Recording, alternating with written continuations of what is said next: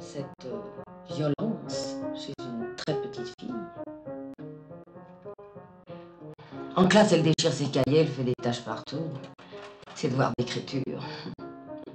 Enfin, tout ça, euh, il y a toujours eu des bonnes, de mauvaises élèves. Nous sommes en terrain connu. On la mettra à la pension d'Atkin. Ah, très bien, Datkin. Très bien. Et quand? La semaine prochaine, je crois.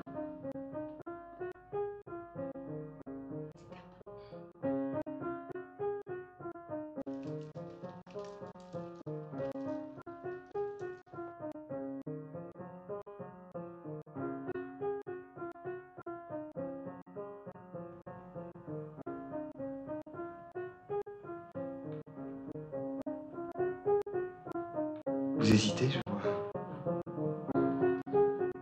Deus te abençoe.